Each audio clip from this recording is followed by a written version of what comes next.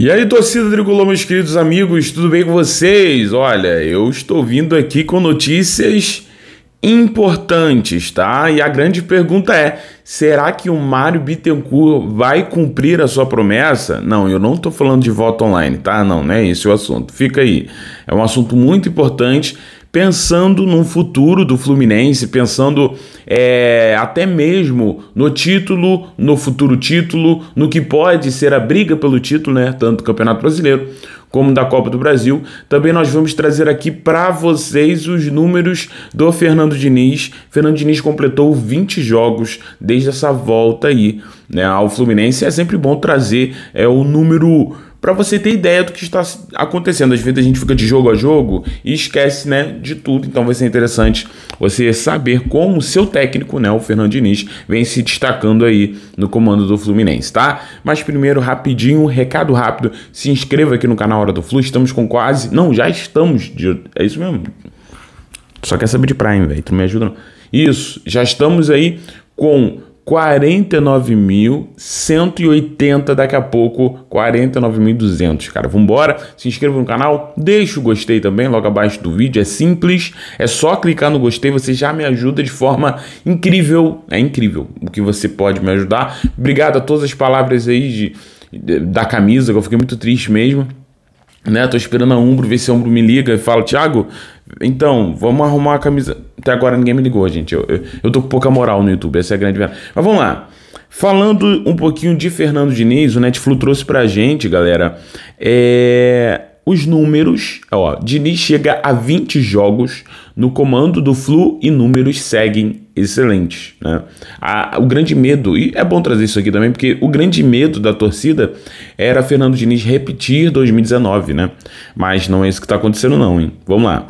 É, ó, em 20 jogos até aqui foram 13 vitórias, 4 empates e apenas 3 derrotas, né? As três derrotas eu lembro, são é simples, né? Fla-Flu, onde o Fluminense foi melhor, Juventude, onde o campo estava alagado, e Atlético Goianiense, quando o David Braz vai ser expulso logo no comecinho, né? Então, é isso. Essas foram as três derrotas do Fluminense. Uh, o time de Guerreiros marcou 43 gols, gente, e tomou 18. Olha a quantidade de gols que faz o Fluminense. Isso aqui é maravilhoso, né? É, já campeão carioca esse ano, com Abel Braga comandando, o Fluminense segue vivo nas duas competições que disputa, né? Brasileirão e Copa do Brasil, e vislumbra ao menos mais uma taça em 2022. Então, meus amigos, a gente está falando aqui de 13 jogos. E não, 20 jogos e 13 dos 20 foram vitórias, né? Excelente, cara, muito bom os números do Diniz. Não, e aqui a gente poderia, né, entrar em chances criadas, porcentagem de gol, de posse de bola, né, uh, e, e, entrar mais nesses números. Mas só de você ver ele no bruto, né, no mais superficial, você vai ver que o Fernando Diniz de fato vem se destacando e vem mostrando uma força muito interessante no Fluminense atual, né, gente? Impressionante como é, vem trabalhando bem o Fernando Diniz, é claro, com todo o apoio né, dos, é, dos jogadores também que pediram a contra, contratação dele né, e estão ali empenhados em fazer dar certo o estilo de jogo. Né? Agora, é, a, a, notícia mesmo que está me pegando aqui, galera, eu tenho que trazer ela para vocês, é, é o seguinte. Eu vou ter que falar o contexto, apesar de eu querer fazer um vídeo bem rápido, mas eu, eu vou ter que gravar o contexto, porque senão muita gente fica em dúvida. O que, que aconteceu? Por que que tá aí uh, se o Mário vai cumprir a promessa dele?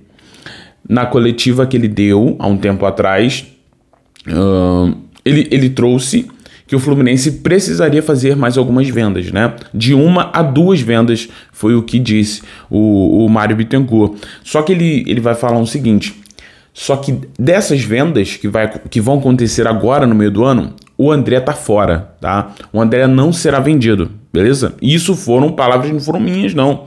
Foram do presidente do Fluminense, Mário Bittencourt.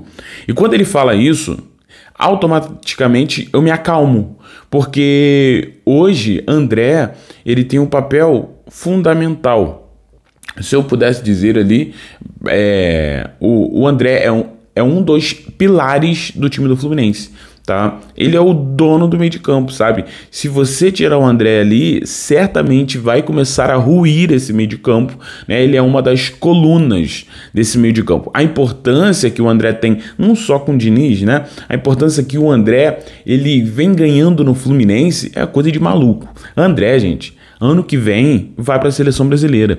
Isso é certo, é, é certo. Ah, o que é certo na vida tem duas coisas: a morte e que o André ano que vem vai para a seleção brasileira. Isso é óbvio, isso é óbvio, é óbvio. Agora, pensando nisso, Mário falou que o André não seria vendido e disse mais. Na ocasião, falou que Paulo Angione estava em conversas avançadas para uma renovação de contrato com o jogador e o jogador ganhar um aumento de salário, algo que eu acho, acho justo para mim, quem tem que ganhar dinheiro é quem resolve, quem ajuda, né? E para mim, justíssimo, e foi o que aconteceu. O nosso querido André teve seu contrato renovado, né? Beleza, show de bola, aumento salarial, aumento na multa, beleza. Então, tudo que o Mário tinha dito estava se cumprindo. Porém, uma coisa que faltou é se o André vai ser vendido ou não. Uma coisa que a galera não entende é o seguinte: não tem nada a ver o contrato renovado é, com a venda. Só para contextualizar, o próprio Luiz Henrique tinha contrato com o Fluminense, renovado bonitinho, até 2025. Tá? Multa rescisória de 40 milhões de euros, 220 milhões de reais. Eu nunca vou esquecer isso aqui, porque, na minha opinião, Luiz Henrique era para ter sido a maior venda da história do Fluminense. Não foi. É, então, ele estava com contrato renovado até 2025, multa lá no alto. E o que, que aconteceu? Luiz Henrique foi vendido para o Betis é, com valor fixo de 50 milhões de reais, um pouquinho menos, né? E pode chegar a tantos, a 70 e poucos milhões com os bônus que, né? Muitos dizem que o, que o Betis, um dos fatores é ganhar a Champions League, é coisa de maluco, né? Então, tá. Tiago, onde tu quer chegar? Saiu uma informação agora no marketing é, Porto, né? Que é uma página aqui focado no time do Porto, tá? Mesmo Porto que tá aí querendo o Nino, mesmo Porto que levou o Evanilson, mesmo Porto que ama o jogador Fluminense, nunca vi. E agora ele eles falam assim, ó, ó, tá aqui, ó. Eu não consigo mostrar na tela para vocês porque eu não estou em casa, mas olha, fechado com o dossiê é, Gabriel Veron, Futebol Clube do Porto tem um novo alvo brasileiro. Adivinha, gente? André Trindade, tá? André Trindade é o nosso André.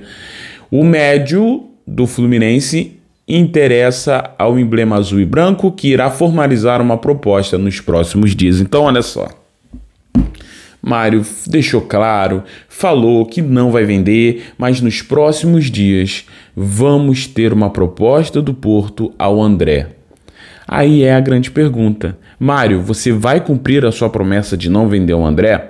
Mesmo que, sim, Fluminense tenha uma meta para bater de vendas, eu já expliquei isso aqui para a galera, e mesmo assim, é, não sei como é que estão aí a vender outros jogadores, mas o André você disse que não venderia. Ou será que vai ser a mesma coisa com o Luiz Henrique? Bota a multa lá no alto, renova o contrato e depois doa o jogador. Aí não adianta, né? Agora, quero saber se o Mário vai cumprir a promessa dele. É agora. Torcedor, é agora. É agora que eu quero saber. Porque é agora que vai chegar uma proposta aí para o André e o Porto parece que não está de brincadeira. André hoje, ele é um dos melhores volantes do Brasil eu vou ficar maluco aqui, eu, eu, já vou ficar louco e eu não acredito que o Mário vai dar esse mole em, em pertinho de, de, de, eleição aí. Porque não vai ter. Isso aqui, para quem defende o Mário, não terá defesa. Para mim, que elogia quando tem que elogiar e critica, para mim é mole. Agora, para quem protege o Mário, eu quero ver como que vocês vão proteger se ele descumprir mais uma promessa. Porque a outra foi o voto online que até agora né, neca, né? Então é isso. Gente, estou preocupado, confesso para vocês. André para mim é um grande jogador, grande jogador, grandíssimo. André para mim é maravilhoso. Vamos ver o que vai acontecer. Mas claro, para mais notícias, o seu amigo vai estar aqui. Vamos esperar, mas o Porto vai fazer proposta para o Fluminense, tá? Beijo no seu coração. Fiquem todos bem, se inscreva no canal, deixa o like. Valeu e falou.